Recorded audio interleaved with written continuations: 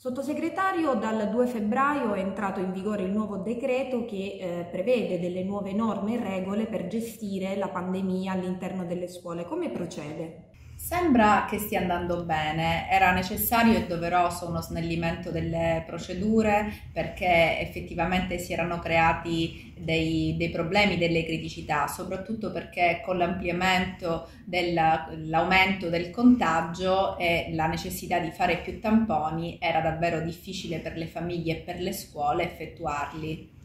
Una delle battaglie del Movimento 5 Stelle, sua in particolare, è la riduzione delle classi pollaio. Quando riusciremo ad avere questo risultato? Eh, siamo a buon punto nella misura in cui sia con il governo Conte 2 che devo dire eh, questa, con questo governo, quindi con la mia presenza al Ministero, abbiamo evitato intanto il taglio dei docenti perché per la denatalità eh, avrebbero dovuto tagliare eh, il personale scolastico e abbiamo evitato che questo accadesse. Questo che cosa ci permette di fare? Di programmare in futuro un numero minore di alunni per classe, ma eh, ovviamente c'è bisogno di più docenti. Inoltre sono partiti i concorsi, il concorso ordinario eh, per assumere ulteriori docenti e fondamentale, già con lo scorso governo, con l'ex ministra, sono state realizzate 40.000 aule in più. Sono sorte per necessità e urgenza Covid, ma effettivamente sono spazi aggiuntivi. Quindi una volta che noi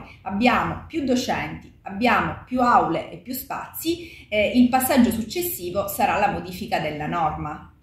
E ci saranno mai dei finanziamenti per i purificatori nelle aule e nelle scuole? Sì, allora eh, mi dà l'opportunità di fare chiarezza. Intanto già nel decreto sostegni eh, del 2021 furono stanziati 150 milioni che potevano essere utilizzati anche eh, per l'acquisto di purificatori d'aria piuttosto che di sistemi di ventilazione. Inoltre i 350 milioni del decreto sostegni bis eh, vedono non soltanto la possibilità di acquistare eh, strumenti di ventilazione meccanica, eh, ma anche adesso questo si farà a breve con la proroga, eh, con uh, il decreto proroga del 24 dicembre, avremo l'opportunità anche di acquistare apparecchi di sanificazione e igienizzazione.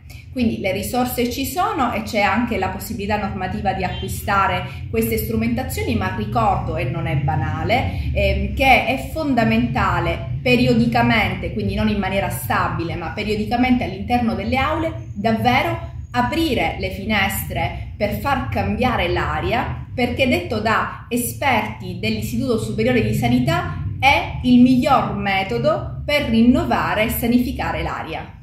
Lei nei giorni scorsi ha parlato anche di una fornitura di FFP2 nelle scuole, ma eh, garantite solo agli studenti, agli insegnanti, a tutto il personale o solo a coloro i quali seguono magari eh, tutti coloro i quali appunto non possono portare la mascherina? Come, come verrà gestita questa cosa? Allora, anche su questo mi dà l'opportunità di fare chiarezza. Sono due diverse norme. La prima che stanzia eh, 5 milioni di euro attraverso la struttura commissariale e che fornisce direttamente alle scuole mascherine per i docenti e il personale che ha a che fare con i bambini piccoli sotto, al di sotto dei 6 anni che non possono tenere la mascherina, quindi per proteggersi e in più per i docenti che eh, lavorano con i bambini, i ragazzini diversamente abili che non possono indossare la mascherina. Quindi queste mascherine FFP2 vanno al personale per proteggerlo. In più sono stati stanziati successivamente 45 milioni per dotare le scuole di mascherine FFP2 in tutte le occasioni di autosorveglianza, così come la norma prevede. Queste mascherine però non vanno direttamente alle scuole, ma sono le scuole che le possono acquistare attraverso le farmacie eh, e quindi possono recarsi nelle farmacie per prenotare le mascherine e averle.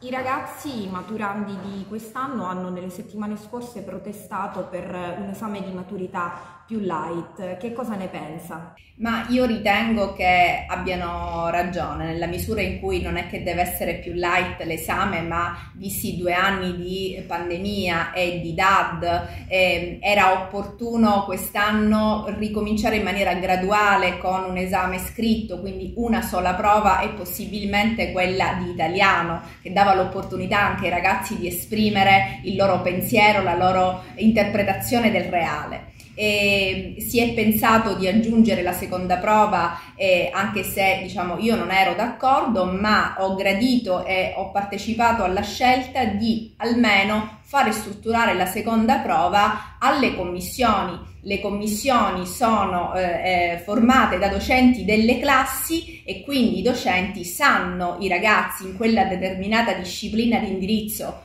eh, latino-greco, fisico-matematica, i ragazzi cosa sono in grado di affrontare e quindi la prova sarà modellata sulle loro capacità e quindi dico ai ragazzi di non preoccuparsi.